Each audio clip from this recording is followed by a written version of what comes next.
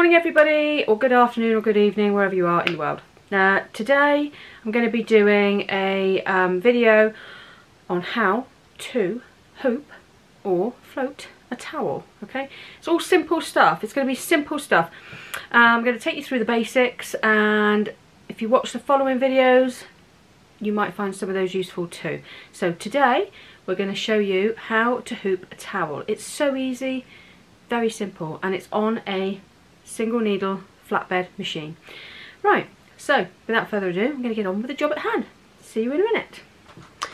So first of all, for a towel, you're going to want some tearaway stabiliser.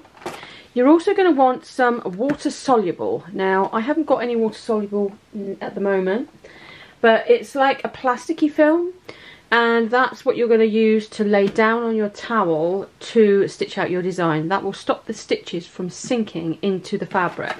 But first of all, we're going to get some tearaway stabiliser. Now, we're going to use tearaway because then you're not going to have it showing on the back of the towel. So, you should never cut your stabiliser with your good scissors, but it's very naughty of me. So, pop some stabiliser in your hoop, first of all.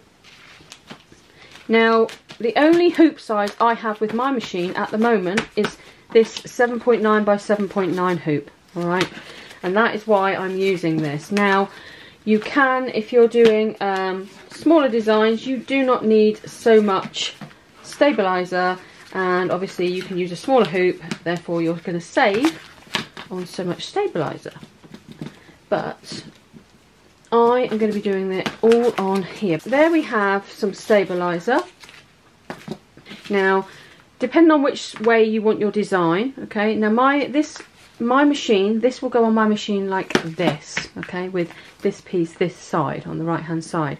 So, um, my towel, I'm going to be laying, what you want to do is, let's pop that to one side. So here's just a standard hand towel, alright. You can use, the concept's the same with a large towel. Now, my design, I've got my label up here. So my design, say I want to go, say when you're doing a towel, when you fold them, you usually go like this and like that. And then it goes over the rail like that, doesn't it? So my design, basically I want to be here, which is probably my centre.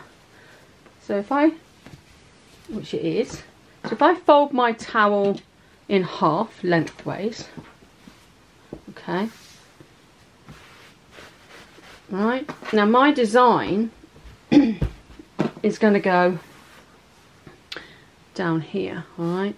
What you can do is you can finger press or hand press or heat press your towel in half so you can get your halfway mark alright then on your hoop you have also got these little notches here. So you've got one there and one at the top, alright? You've also got one at the sides as well.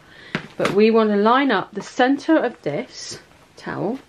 So we do it, what we're going to do is we're going to turn it inside out so that the label is on the outside there, alright? So label's on the outside and I'm going to do it so that bring it over to the halfway mark. Now I want my design to go about here. So I'm going to bring this down.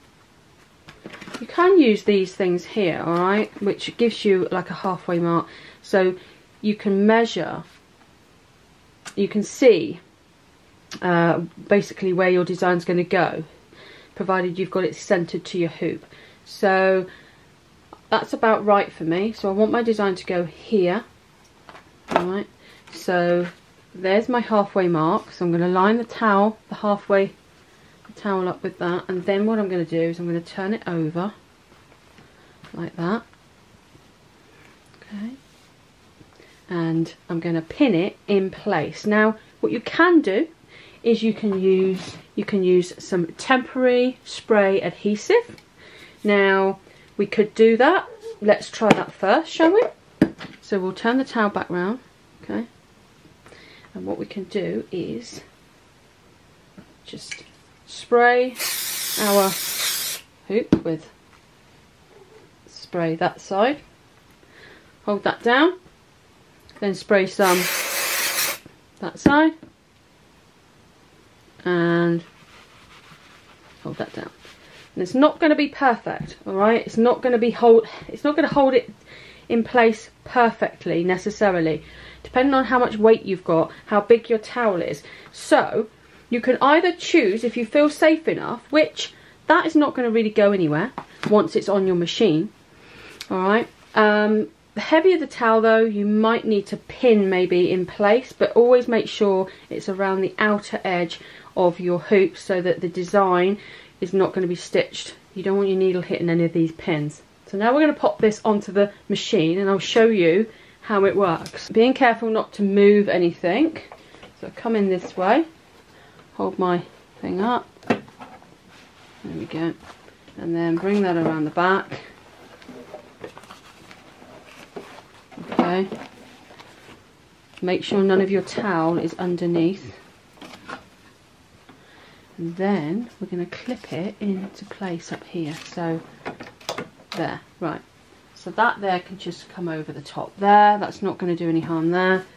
And there is where our design's going to be stitched. So it's as easy as that. Now water soluble will go underneath here okay? If you're doing an applique then put the water soluble on after all your applique has been put in and then just before the satin stitch goes around okay? And that will help hold that in place and it will stop the stitches from sinking into your towel. So that's it. As easy as that. How to hoop a towel. So simple. That is going to stay there.